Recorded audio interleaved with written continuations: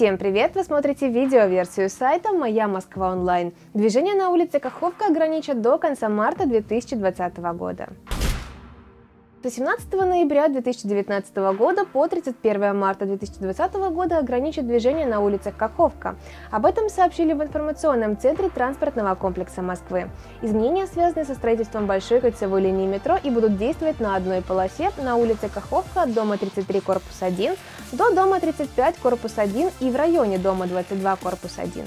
Ограничения будут действовать с 18 по 24 ноября текущего года с часа 30 до 5.30.